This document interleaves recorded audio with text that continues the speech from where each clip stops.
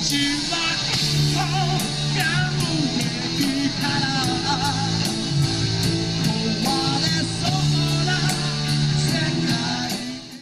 hello everyone, this is Rear Puncture, and we're back with Star Trek Online. We're going to be taking a look at the the Krenim ship from the anniversary event. The anniversary event was the uh, where Q you went and found all the particles and stabilized them. And you did that for well, you only had to do it for like 12 days, and then you could get the ship. Because if you did the the featured episode, you got 400 of the marks for it.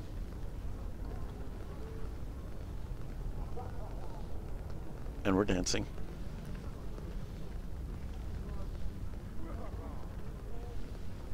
And we're dancing. Alright, we're going to take a look at the inside of the Krenim ship. Our science officer is going to do a little Vanna Whiting of it. So over here we're gonna we can contact our duty officers. And then over here is the library computer. Our engineer is just doing her thing. Our science officer is taking readings. Many readings. Rolling. Here we can look at our account bank. And here our tactical officer has our small craft. We'll take a seat. So this is what the bridge looks like.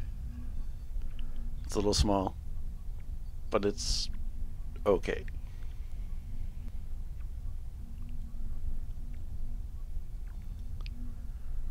But that's enough for the bridge.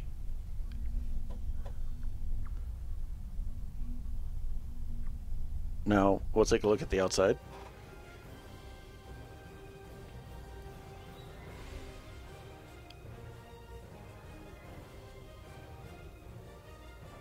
That's what it looks like.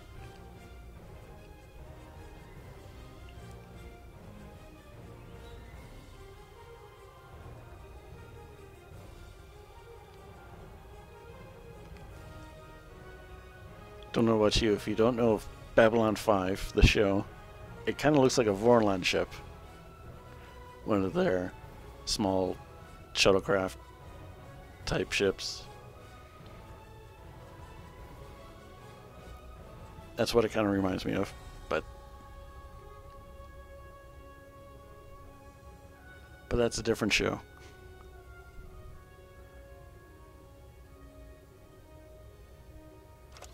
We'll take a look at what's on it.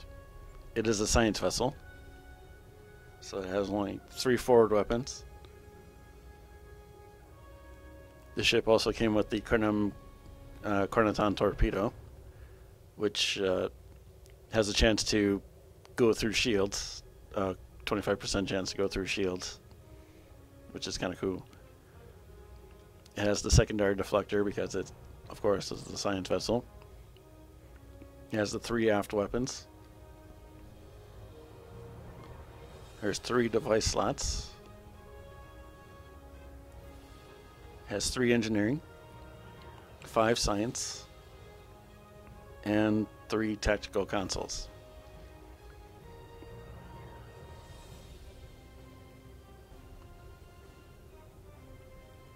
The ship comes with the timeline stabilizer,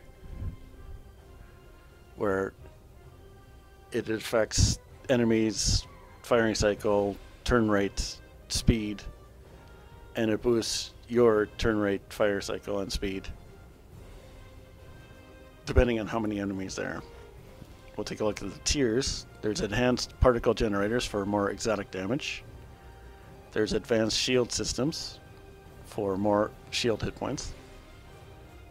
There's enhanced restorative circuitry, where it increases hull healing and shield healing. There's reactive shield technology, which has a shield regen and also reduces damage to shields by 5%. And the Starship trait is improved feedback pulse, where it increases feedback pulse damage and increases crit severity and crit chance. Take a look at our stats. There's the crew.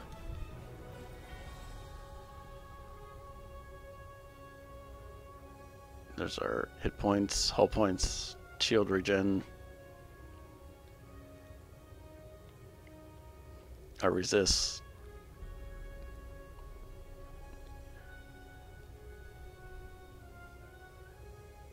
All the fun stuffs. As for maneuverability, since it is a shiny ship, it, it's more maneuverable than the cruisers, but less so than the escorts. But it isn't too bad.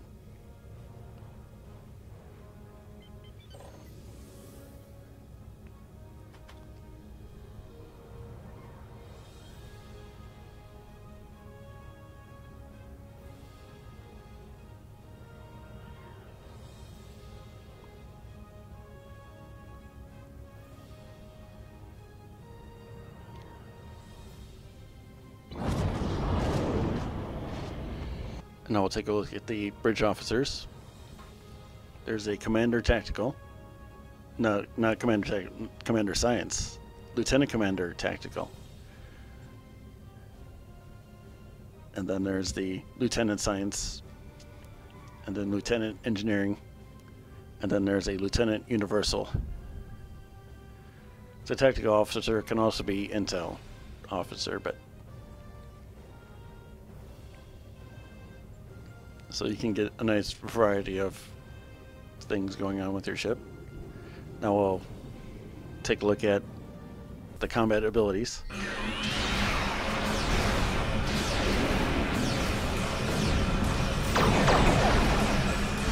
the Krenim torpedo. We just shoved way too many of them.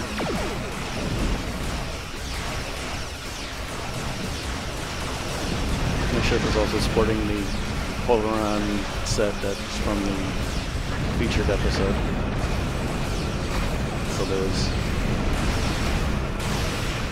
that's what they kind of like light blue. That's the weapon, beam weapon.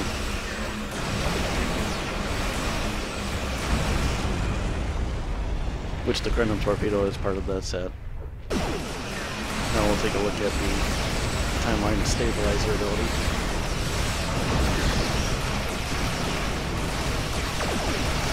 Kind of hard to tell whether, although it looks like they're slowing down and can't really turn from. Which allows us to unload.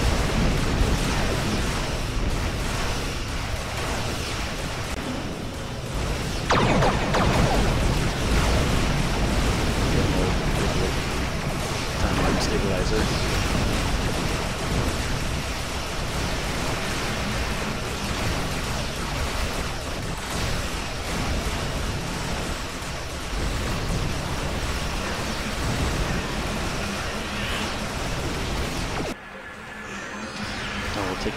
At crystal. Basically, we just park and and just keep on firing.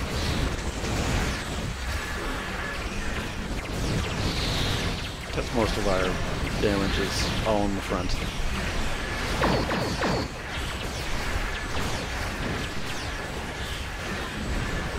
Going for the maximum torpedo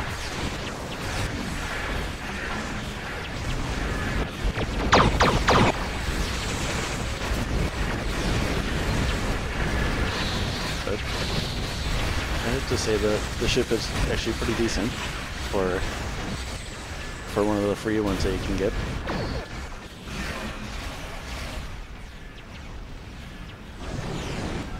I know my Klingon science officer likes it because there's not many Klingon science vessels.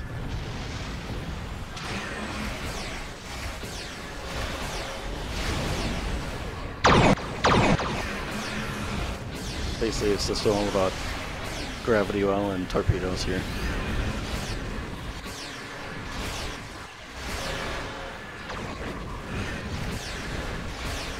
But the Polaron set also increases uh, there's a the set bonus you get a skill where it increases exotic damage and beam weapon damage. Can only get our beam weapon so much since we're going max auxiliary power.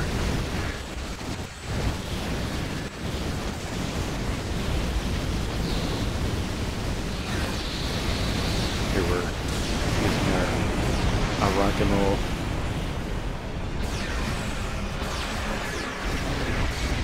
We have to use our attack and beam to use our other uh, other traits, so why we're using it. Although it's not really doing anything. We're we're kind of taking a beating here because everyone else in our group died. Uh, oh, we're having some technical difficulties now. Something happened with the recording. There's there's nothing I could show you or anything like that.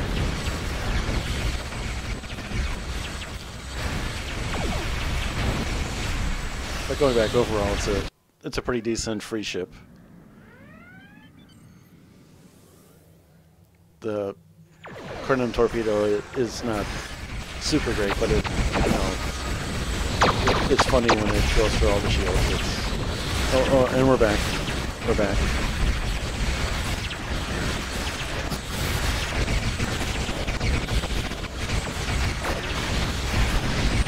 We- We didn't uh, blow up or anything like that.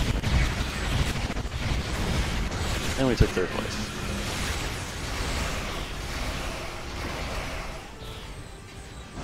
We'll, we'll get our fleet marks.